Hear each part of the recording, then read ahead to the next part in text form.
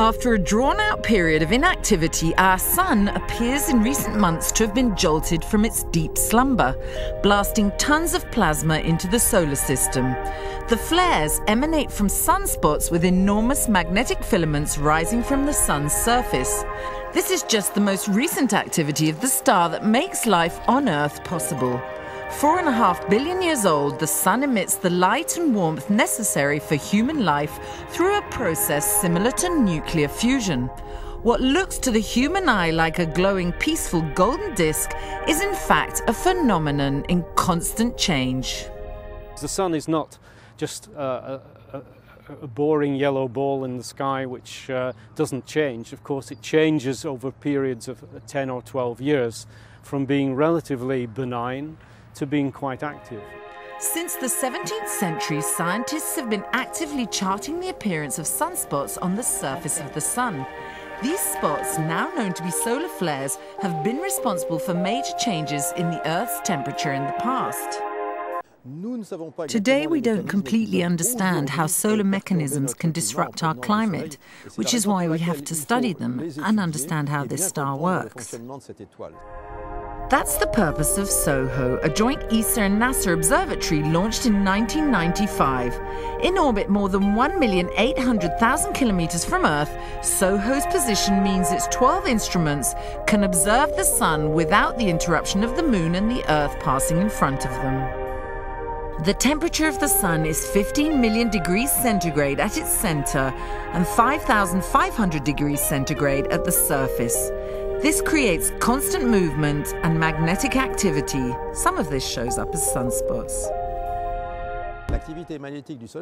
On the Sun, we can see dark patches, which are in fact concentrations of solar magnetic fields.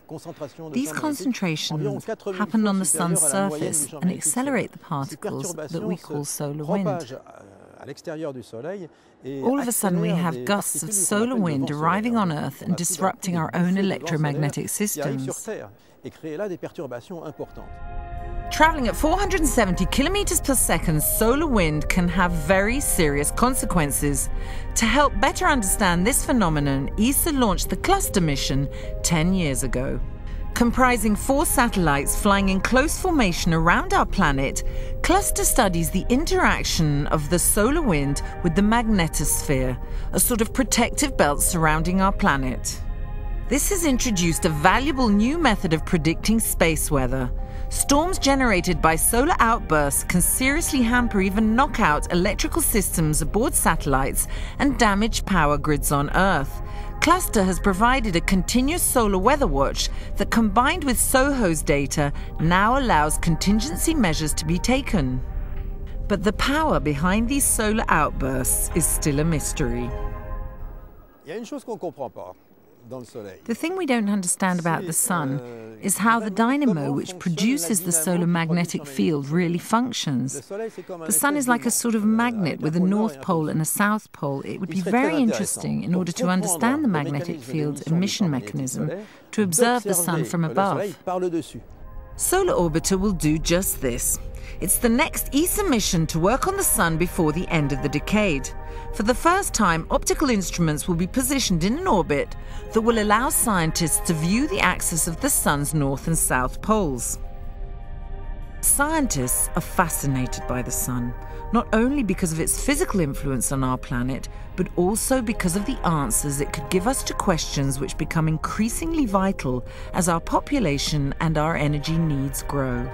If we can reproduce the sun's thermonuclear reactions on Earth, which is basically the result of fusing hydrogen and helium atoms, the techniques we're developing give us a good chance of having an inexhaustible energy source in the centuries to come.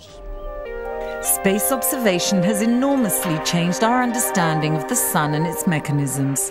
Thanks in particular to ESA satellites like SOHO Cluster and the next mission Solar Orbiter, we will surely have new answers to the questions that remain about this mysterious star.